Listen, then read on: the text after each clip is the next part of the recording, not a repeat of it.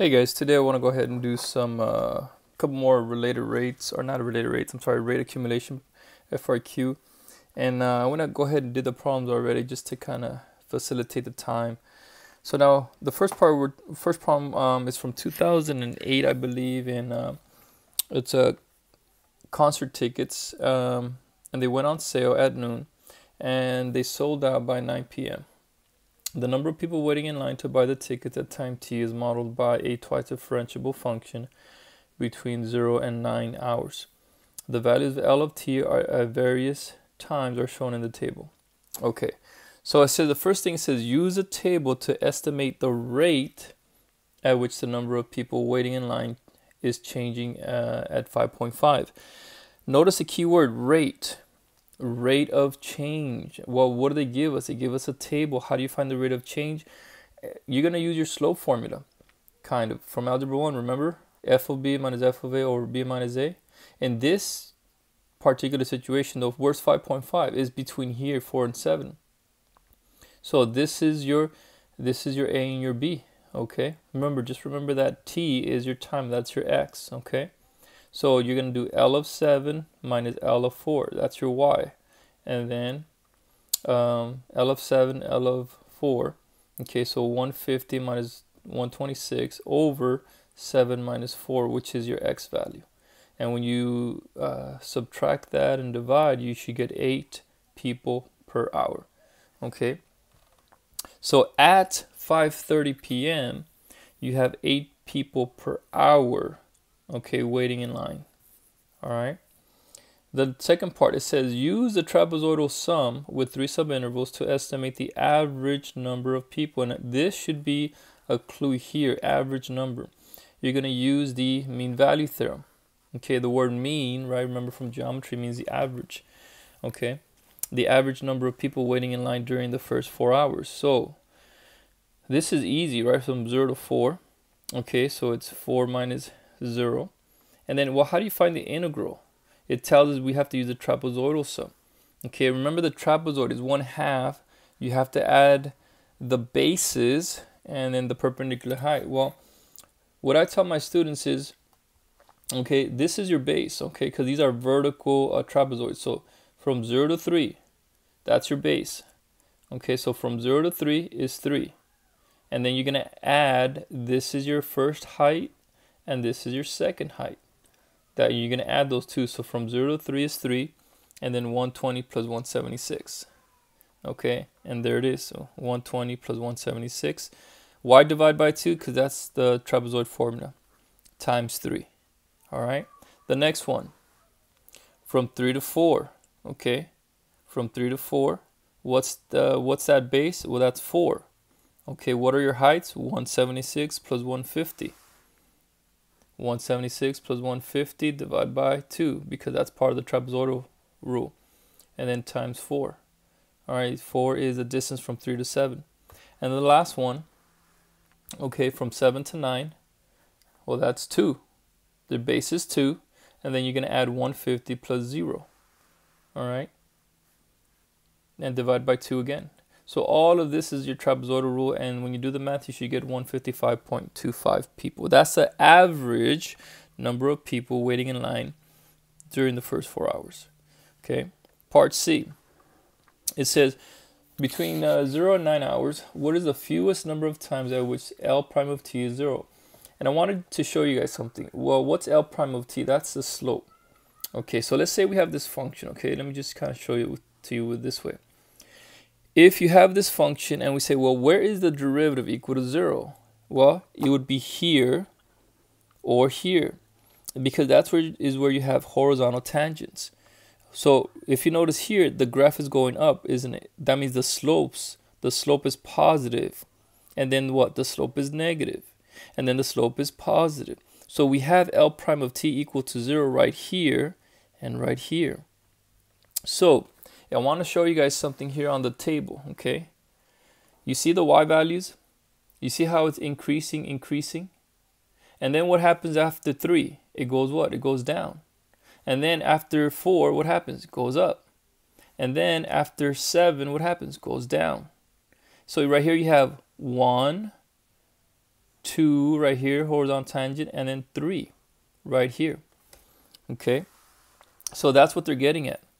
All right, well, how do you write that on the AP exam? Well, you have to tell them because L prime of t is positive between 0 and 3, okay, and then 4 and 7, all right, and actually, and uh, L prime of t is negative between 3 and 4, and 7 and 8, the intermediate value theorem implies there are at least three values L prime of t equals 0. Okay? And that's what you would write in order to tell them. What uh, the other thing you can do for those of you that are visual, you can just kind of do a, a a number line here to let them know, and you can tell even you can even write horizontal tangent here, here, here. Okay, but you have to mention the intermediate value theorem okay, that it crosses and the L prime of t is equal to 0 at those points. Because remember, these are human beings, and if they can see that you demonstrated enough information to understand what you're talking about, they'll give you the points, okay? But you notice I didn't write too much, and uh, it was just straight to the point. All right, let's do uh, part D.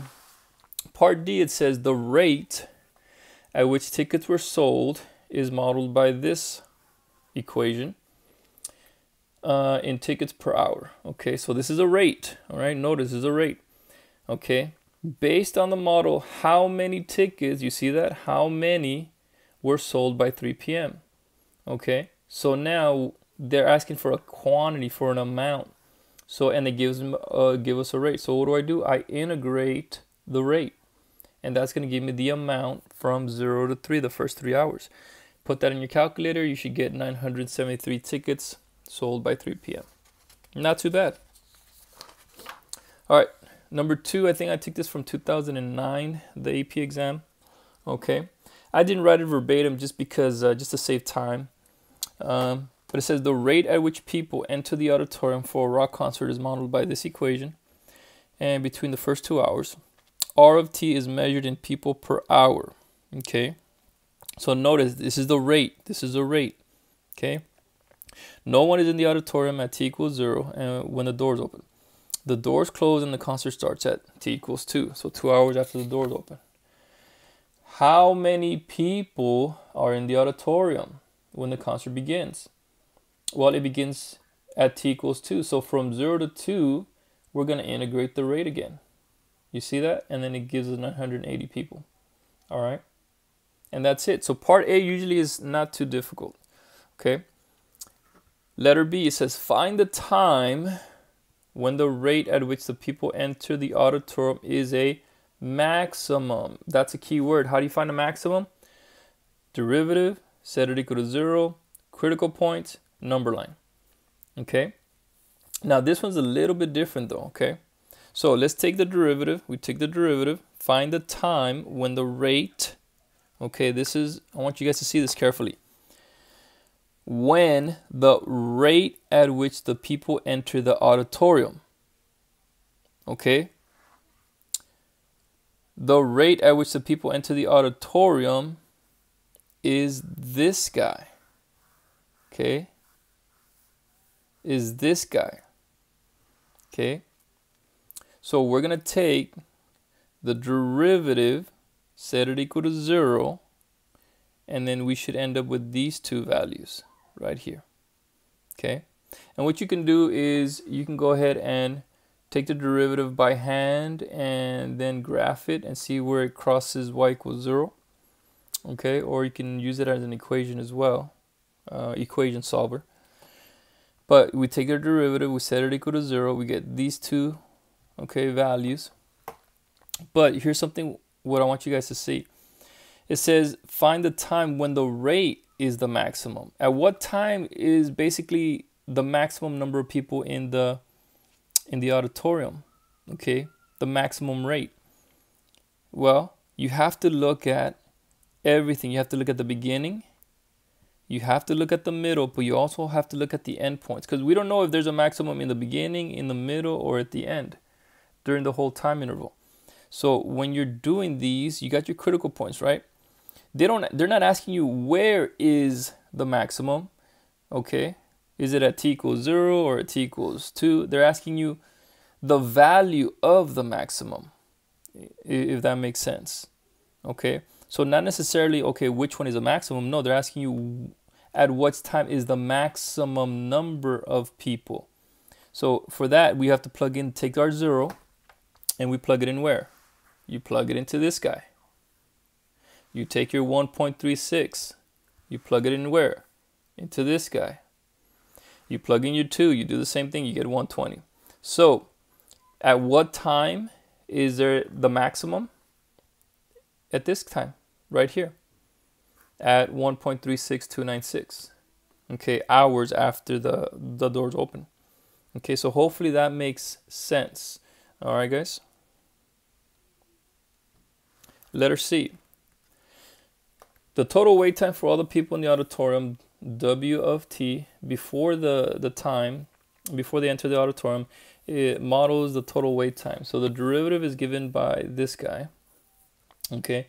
And then it says find W2 minus W1, the total wait time for those who enter the auditorium.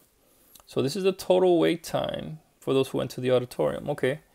So hopefully this makes looks familiar because this is from the fundamental theorem. And this is f of b minus f of a, which is w2 minus w1. And if you notice, this all you have to do is do the integral from 1 to 2 of the of the rate. And that gives you w2 minus w1. Well, when you plug that into your calculator, you should get 387.5.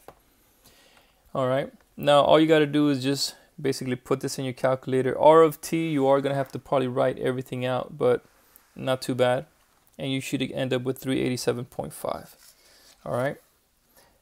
And then lastly part C I'm sorry part D it says on average how long does the person wait in the auditorium for the concert to begin? Consider all the people who enter the auditorium. Okay? So it says how long does a person wait in the auditorium for the concert Consider all the people who enter the auditorium after the doors open. Okay, use the model for the total wait time from part C. Okay, so we know we have to find the average, right? Well, how do you find the average of anything? Well, we are going to be doing the fund, uh, the mean value theorem per se. Okay, well, how do you find the average of anything? You take the total amount divided by, well, how many people there are. Well, if you notice here, the total, okay, we already figured that out, is the integral. Okay, well, this is why they say consider all the people. Well, how many people are there in total? Well, there's 980. Well, where do we get 980 from? Okay, where do we get 980? Remember in the beginning? How many people are in the auditorium when the concert uh, starts? 980. Okay, so we integrate this guy, which is uh, the wait time, divided by each person. And so each person, this is on average how much they waited. Almost 40, about a little over 45 minutes on average. All right, guys. So hopefully that makes sense. And and these uh, problems are getting a little bit easier to understand. Um, and I'll, I'll see you guys next time with some more examples, guys.